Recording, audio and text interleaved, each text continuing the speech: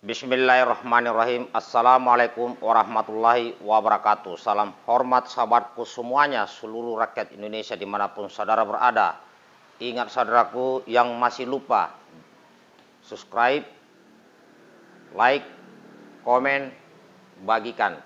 Itu sandinya saudaraku. Sehingga uh, saudaraku bisa terus mendapat informasi uh, terupdate ya Baik saudara-saudaraku, sahabatku semuanya, di sini akan saya sampaikan tentang uh, jadwal sidang uh, tentang pra peradilan uh, Imam Besar Habib Rizik Syihab. Nah, itu rencana yaitu pada tanggal 4 Januari hari Senin di Pengadilan Negeri Jakarta Selatan. Ingat sahabatku, 4 Januari 2021. Berarti tahun depan ya tahun depan. Ini saya bacakan dari ulasan fakta kini.net Jakarta. PN Jakarta Selatan atau atau Pengadilan Negeri Jakarta Selatan telah menetapkan jadwal sidang atas dasar permohonan pra peradilan yang diajukan oleh Imam Besar Habib Rizik. Sebentar, sebentar bro. Agak batuk-batuk. Sidang perdana ini akan digelar uh, pada hari Senin tanggal 4 Januari 2021. Berarti ini kan tanggal 19 Desember. Berarti masih sekitar uh, 15 harian ya. masih 15 hari. Prapit nomor 150 garis miring pit titik pra garis miring 2020 garis miring PN titik JKT titik sel permohonan Imam Besar Habib Rizik Sihab sidang pada hari Senin pada tanggal 4 Januari 2021 pukul 09.00 waktu Indonesia Barat.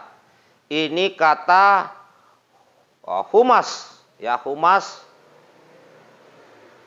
Pe, uh, kejaksaan ya PN Pengadilan Negeri Jakarta Selatan. Yaitu Bapak Suharno melalui pesan singkatnya kepada cnnindonesia.com pada hari Kamis 17 Desember 2020. Nah, beliau juga menyatakan hakim yang akan memimpin sidang tersebut saya ulangi, hakim yang akan memimpin sidang tersebut adalah Bapak Ahmad Sahyuti. Sedangkan panitera pengganti adalah Agustinus Endri. Nah, silakan sahabatku cari uh, siapa Pak Ahmad Sayuti dan siapa Pak Agustinus Endri.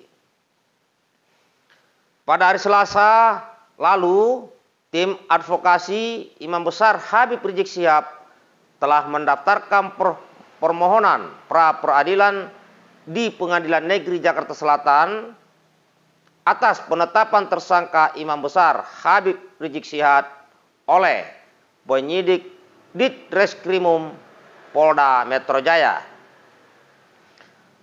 Dalam permohonan pra peradilan tersebut, tim advokasi meminta agar hakim pra peradilan menyatakan penetapan tersangka terhadap Habib Rizik Sihab tidak sah, tidak berdasar hukum, sehingga segala penetapan yang dikeluarkan lebih lanjut yakni penangkapan dan penahanan dan penahanan juga menjadi tidak sah. Ini adalah di dalam permohonan pra peradilan. Jadi ini tim advokasi ya meminta seperti itu serta penyidikan atas perkas perkara akuo juga harus dihentikan yaitu SP3 kata tim advokasi Habib Rizik Syihab pada hari Selasa lalu.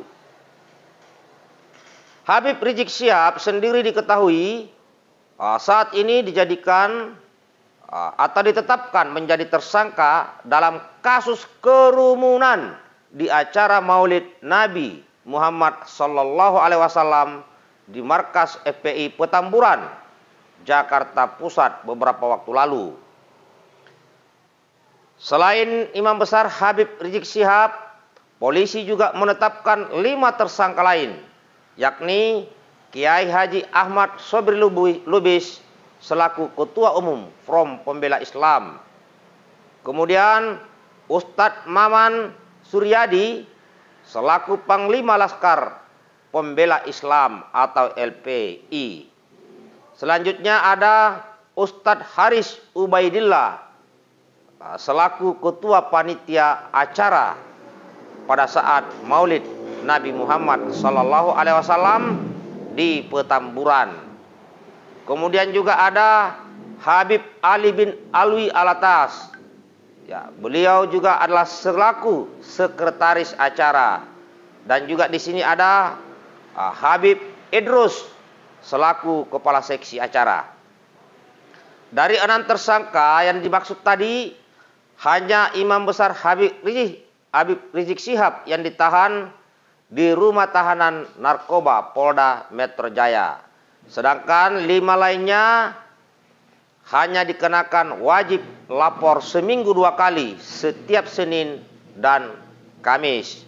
Ini sumbernya dari cnnindonesia.com. Nah, baik sahabatku, saya informasikan ini agar sahabatku semuanya, seluruh rakyat Indonesia tahu bahwa tahun depan, tahun 2021, hari Senin pada tanggal 4 Januari 2021 adalah jadwal sidang pra peradilan Imam Besar Habib Rizik Sihab. Nah, waspadai di saat ada sidang ini, nah ini kemungkinan besar ya, kemungkinan besar, ini prediksi saya, akan banyak orang yang akan menghadiri sidang ini Ini ini kemungkinan besar itu akan terjadi karena ini adalah uh, suatu momen yang sangat penting. Nah, mengantisipasi kejadian-kejadian sebelumnya yang kemarin 18-12,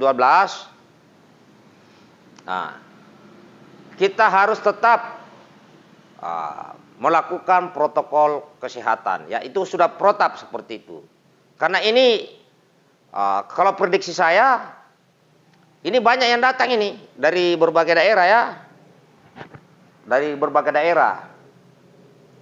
Sehingga uh, tetap ya kemarin entah itu benar atau tidak benar, tetapi dari video-video yang saya lihat di grup-grup WA ada beberapa orang yang membawa benda-benda yang berbahaya ya, benda-benda tajam. Saya berpesan kepada sahabatku semuanya agar hindari membawa barang-barang yang sekiranya itu bisa merugikan diri kita. Ya. Enggak usahlah. Kalaupun mau datang, datang ya, baik seperti ya, umumnya. Namun itu sekali lagi. Ini kita terus akan dihantam Ah, karena pembatasan ah, COVID atau wabah. Nah itulah sehingga saya berpesan kepada sahabatku, jika memang harus datang, tetap sesuaikan dengan protap yang ada.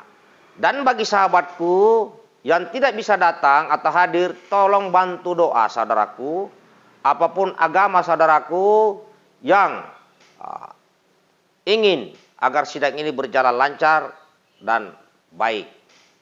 Dan kita juga doakan Imam Besar Habib Rizik Syihab dan lima orang lainnya ya para kiai, para ustadz dan para abaib yang ikut sebagai tersangka kita doakan agar beliau-beliaunya selalu dalam keadaan sehat walafiat ya serta tegar di dalam menghadapi ujian atau cobaan ini. Kita juga doakan ya pengadilan yang akan memeriksa ya atau yang akan berhadapan dengan Habib Rizik kita juga doakan agar beliau juga sehat dan selalu dalam lindungan Allah Subhanahu wa taala. Kita juga doakan aparat nanti itu pasti banyak kemungkinan besar akan banyak aparat eh, yang akan turun pengamanan baik dari Polri maupun TNI. Kita juga doakan baik Polri maupun TNI juga dalam lindungan Allah Subhanahu wa taala.